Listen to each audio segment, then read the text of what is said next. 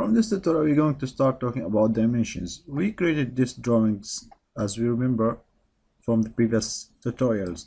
So now it is time to add the dimensions because it is important to have the dimensions in any drawing.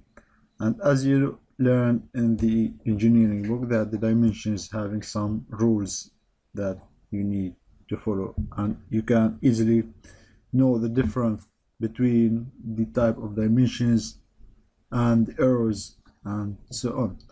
So to start working with dimensions you have smart dimensions icon here. You click on it you will find two types of dimensions. You have smart dimensioning and the dimension expert. In this tutorial we're going to talk about the dimension expert and then we're going to use the smart dimensioning. Because the dimension experts is kind of faster so let's click on dimensions and select your view. You will notice you will get an error. So when you are selecting this view you need to select a vertex or the reference point to your dimensioning. So let's start find any point. Here you will get a message that the dimension expert is used in part level not on this assembly. So let's go here. I created a part a single part here and I'm going to make a drawing from this part. So let's place our parts here.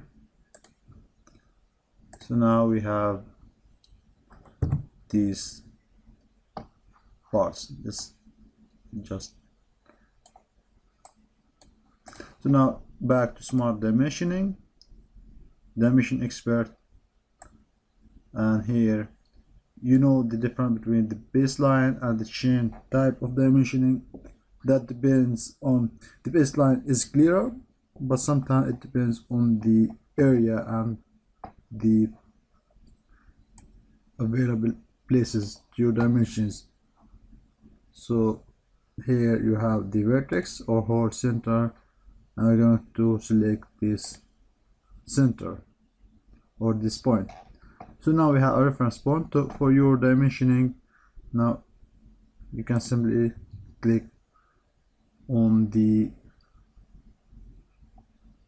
parts here and you will get your dimensions automatically done so that is very fast way to create your dimensions